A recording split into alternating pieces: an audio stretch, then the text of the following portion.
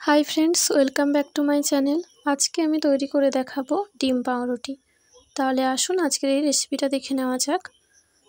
এর জন্য আমার যে যে উপকরণগুলি লাগছে, এখানে আমি নিয়েছি পেঁয়াজ কুচি, কাঁচা লঙ্কা কুচি, আর এখানে নিয়েছি গোলমরিচ গুঁড়ো। আর এখানে এই পাউরুটিটা লাগছে।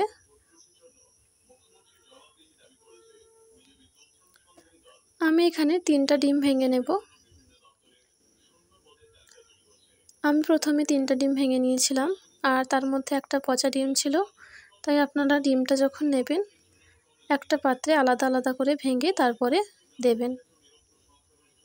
এখানে আমি তিনটা ডিম ভেঙে নিচ্ছি।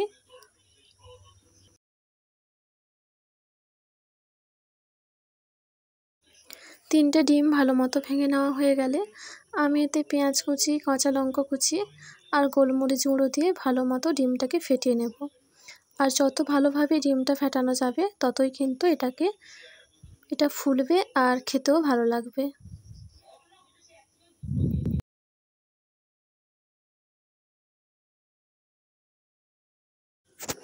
এরপর কড়াইটাকে ভালো মতো গরম করে নেব আর এতে দিয়ে দেব পরিমাণ মতো সর্ষের তেল। আপনারা চাইলে কিন্তু সাদা তেল দিয়েও তৈরি করতে পারেন। আর সর্ষের তেল দিয়ে করলে এটাকে, এটা বেশ খেতে ভালো লাগবে। ডিমের গোলার উপরে এদিক ওদিক পাউরুটিটাকে ভালো মতো চুবিয়ে নিয়ে আমি তেলের উপর ছেড়ে দিলাম।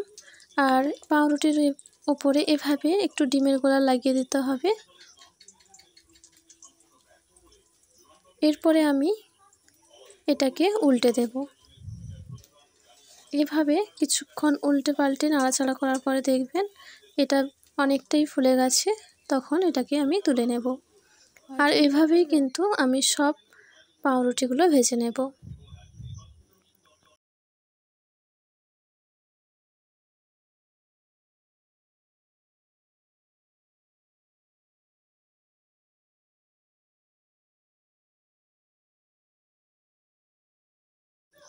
দেখুন, এটা কিন্তু ভাজা হয়ে গেছে। এবার এটাকে আমি তুলে নিচ্ছি। আর যেগুলো আছে, আমি ওগুলোকেও এভাবে ভেজে নেব। তাহলে তৈরি হয়ে গেল আমাদের ডিম পাউরুটি। আমার এই রেসিপিটা যদি আপনাদের ভালো লেগে থাকে, তাহলে আপনারা আমার চ্যানেলটাকে সাবস্ক্রাইব করতে একেবারেই ভুলবেন না।